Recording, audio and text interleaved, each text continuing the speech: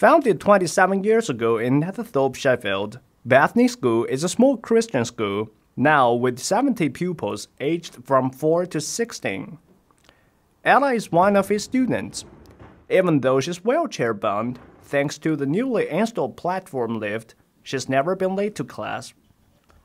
In consideration that Ella would transfer to higher grade this autumn, the school planned ahead earlier this year to build the lift to escalate the 11 year old girl to the higher stories in another building, where secondary aged pupils have class.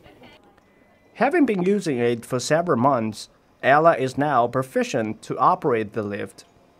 But it was never easy to raise £10,000 without government fund. The school made it by holding concerts, musicals, as well as public donations. And this is not the first time the school has raised the large amount. The first lift that makes the junior classrooms and prayer room accessible to Ella was fundraised as well. Ella said she wants to be a teacher when she grow up.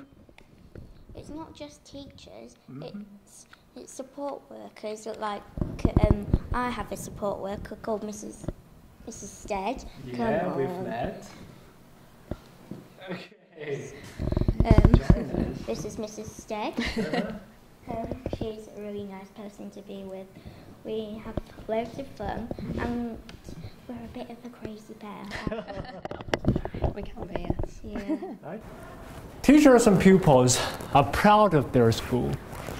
The two elevators have been lifting Ella and their dreams in the past few years and giving her the opportunities worthy of her promise.